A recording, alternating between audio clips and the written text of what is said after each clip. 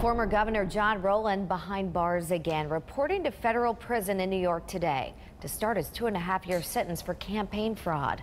The 59 year old convicted of trying to disguise work that he did on a failed congressional campaign in both 2010 and 2012. Now, this is Rowland's second time in prison. He resigned as governor back in 2004 during a corruption scandal that landed him behind bars for 10 months.